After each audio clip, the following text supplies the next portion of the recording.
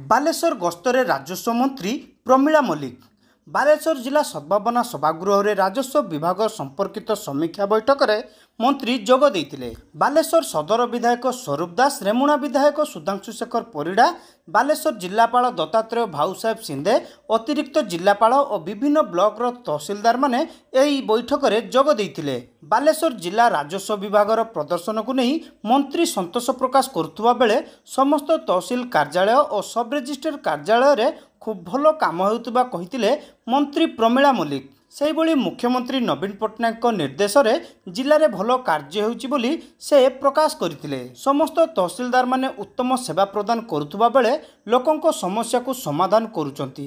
ସେହିଭଳି ଲଗାଣ ବର୍ଷା ସମ୍ପର୍କରେ ମନ୍ତ୍ରୀ ଗଣମାଧ୍ୟମକୁ ସୂଚନା ପ୍ରଦାନ କରିଛନ୍ତି। ରାଜ୍ୟରେ ବର୍ଷା ନାହିଁ ଚାଷୀ ଓ ଚାଷ ପାଇଁ ଆହୁରି ବର୍ଷା ଦରକାର ବୋଲି ସେ ପ୍ରକାଶ କରିଥିଲେ। ଅଧିକ ବର୍ଷା କିମ୍ବା ବନ୍ୟା ହେଲେ ରାଜସ୍ୱ ବିଭାଗ ସମ୍ପୂର୍ଣ୍ଣ ପ୍ରସ୍ତୁତ ରହିଛି। ସମସ୍ତ ଜିଲ୍ଲାର ଜିଲ୍ଲାପାଳ ଏବଂ ତହସିଲଦାରମାନଙ୍କୁ ପ୍ରସ୍ତୁତ ରହିବାକୁ ନିର୍ଦ୍ଦେଶ ଦିଆଯାଇଛି। ଦୁର୍ବଳ ନଦୀବନ୍ଧର ସୁରକ୍ଷା ସମ୍ପର୍କରେ ସମସ୍ତ ଜିଲ୍ଲାରେ ମିଟିଂ ମଧ୍ୟ ସରିଛି।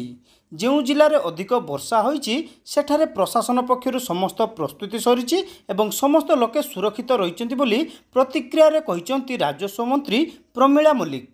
ବାଲେଶ୍ୱର ଜିଲ୍ଲାରେ ଆଜି ଯେଉଁ ରେଭିନ୍ୟୁ ବିଭାଗର ଆଲୋଚନା କରାଗଲା ସେଥିରେ ରେଭିନ୍ୟୁ ବିଭାଗର ଯେତେ କାର୍ଯ୍ୟକ୍ରମ ସମସ୍ତ ସେବା ଲୋକଙ୍କ ପାଖରେ ପହଞ୍ଚୁଛି ଏବଂ ତହସିଲଦାର ସବରେଷ୍ଟ୍ର ଜିଲ୍ଲାପାଳ ଏଡିଏମ୍ ସମସ୍ତେ ଚଳଚଞ୍ଚଳ ହୋଇ ମାନ୍ୟବର ମୁଖ୍ୟମନ୍ତ୍ରୀଙ୍କର ଯେଉଁ ଯେଉଁ ନିର୍ଦ୍ଦେଶ ରହିଛି ଭୂମିହୀନମାନଙ୍କୁ ଭୂମି ଯୋଗାଇବା ଏବଂ ଲୋକମାନଙ୍କର ଯେଉଁ ଛୋଟ ଛୋଟ ସମସ୍ୟା ସାର୍ଟିଫିକେଟ୍ଠୁ ଆରମ୍ଭ କରି ମ୍ୟୁଟେସନ୍ ପର୍ଯ୍ୟନ୍ତ ସମସ୍ତ କାମ ଅତି ଚଳଚଞ୍ଚଳ ଭାବରେ କରୁଛନ୍ତି ତହସିଲଦାରମାନେ।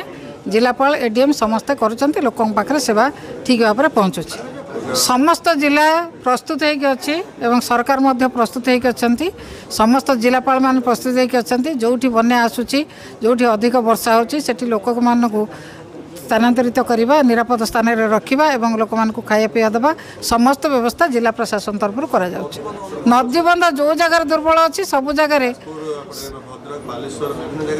ଯାଜପୁରରେ କେଉଁଠି ଅଛି ଦୁର୍ବଳ କହୁନାହାନ୍ତି ଆମେ ସଜାଡ଼ି ଦେଉ ନା କେଉଁ ଜାଗାରେ ପର୍ଟିକୁଲାର ଦଶରଥପୁର ତ ଦଶରଥପୁର ପର୍ଟିକୁଲାର କେଉଁ ଜାଗା କୁହନ୍ତୁ ସେଇଟା ଯାହା ତ ମୁଁ ଜାଣିଛି ଦଶରଥପୁରର କେଉଁ ଜାଗା ପର୍ଟିକୁଲାର ଜାଗା କୁହନ୍ତୁ ଦଶ ସେମିତି ଦଶରଥପୁରର ଦଶରଥ ଯାଜପୁର ପାଖରୁ କୟାଙ୍ଗଲା ପର୍ଯ୍ୟନ୍ତ କୌଣସି ଜାଗାରେ ଦୁର୍ବଳ ନାହିଁ।